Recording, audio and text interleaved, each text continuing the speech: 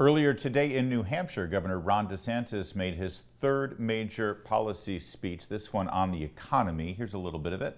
And we cannot allow no longer the failed ruling class in this nation to dictate our nation's policies. We have to defeat those individuals and institutions that have caused our economic malaise. We cannot have policy that kowtows to the largest corporations in Wall Street at the expense of small businesses and average Americans. There's a difference between a free market economy, which we want, and corporatism. Joining us right now, Policy Director for the DeSantis campaign, Dustin Carmack. Thanks for joining us, sir. Hey, thanks for having me. Can you explain to us what Governor DeSantis means when he says corporatism? What is corporatism? Well, I think uh, in today's day and age, you've seen essentially how over the course of time corporations have done uh, have done business in a way that would be a net benefit to their gains overall from a regulatory capture standpoint through taxation. If you look at the way that five of the seven wealthiest counties in this country revolve around Washington D.C., it shows you that that is where the power resides to make it in this country versus Main Street America. Forgive the provocative nature of this question, but I think it's something that Republicans uh, continue to sort of wrestle with. Uh, take us back to 2012. You remember when Mitt Romney was just pummeled by Barack Obama because Mitt Romney was standing up for corporations. He said, "Listen, corporations are people, which legally they are actually in the in the eyes of federal law." So when you look at uh, Governor DeSantis's policy that he put forth now, railing against corporatism. Uh, who would have been better aligned back in 2012 with this policy, Barack Obama or Mitt Romney? Yeah, you know, it's a good question. I mean, I look at look at going forward now. I mean, when we're talking about what Wall Street is caring more about the bottom line and, and investing uh, American taxpayer dollars with the People's Liberation Army and China than what is happening investing in America, then we have a huge problem and there's a disconnect. And I think that's where Governor DeSantis is trying to make that point.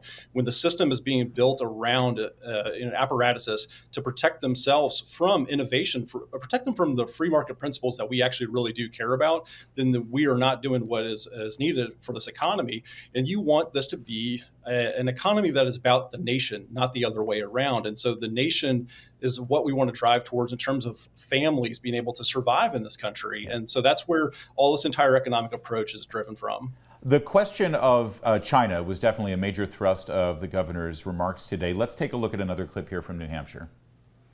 So here's what we have to do to get this right. First, we have to restore the economic sovereignty of this country and take back control of our economy from China. This abusive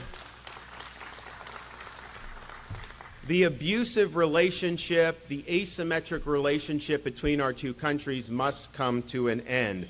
No more massive trade deficits. No more importing of goods uh, with stolen intellectual property. No more preferential trade status. We need to incentivize the repatriation of American capital and investment here in the United States so we can recapture our supply chains and build a strong, durable industrial base. And in Florida, uh, we've actually taken action against the CCP. We have banned the purchase of land in Florida by members of the Chinese Communist Party or its affiliates.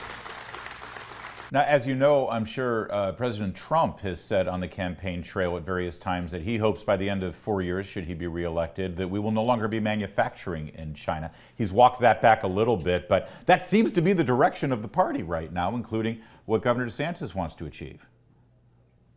Well, I think when you look at the supply chain crisis that we saw break out during COVID, essentially that was just essentially the tip of the iceberg of where we've seen the Chinese going for a long time. And, and for a long time, American business have been told through, you know, their accession into the World Trade Organization and elsewhere that they were going to become, you know, flourishment of, of democracy and the economic, you know, uh, the economic nature of their economy would help them culturally.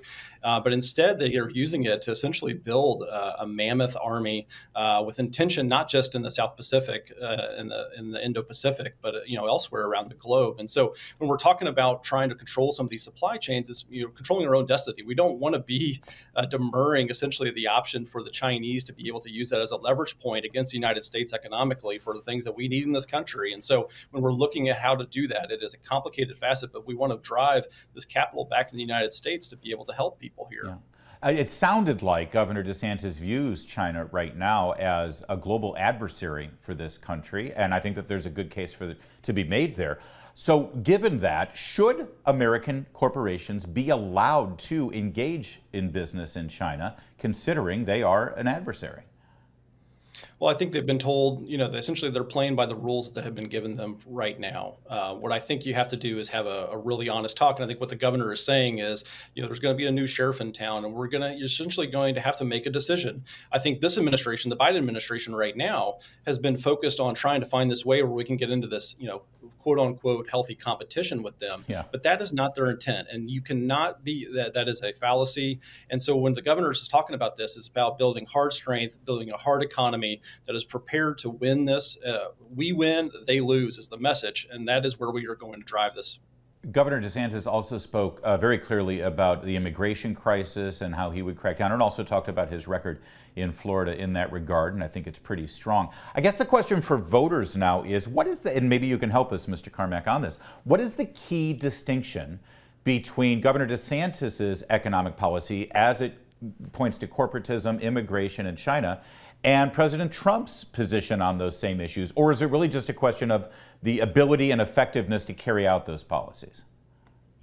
I think it's a mix of both. I mean, I think the, the, the getting it done is a real thing. There's a lot of politicians that will sell you a bag of goods uh, and won't lift a finger when it comes to getting it done, or have the the foresight and execution of a strategy to do that. And I think where Governor DeSantis has distinguished himself in every facet of the policy making body, you know, his time as governor, is he's effective in terms of seeing that chessboard, you know, 12 pieces down the line.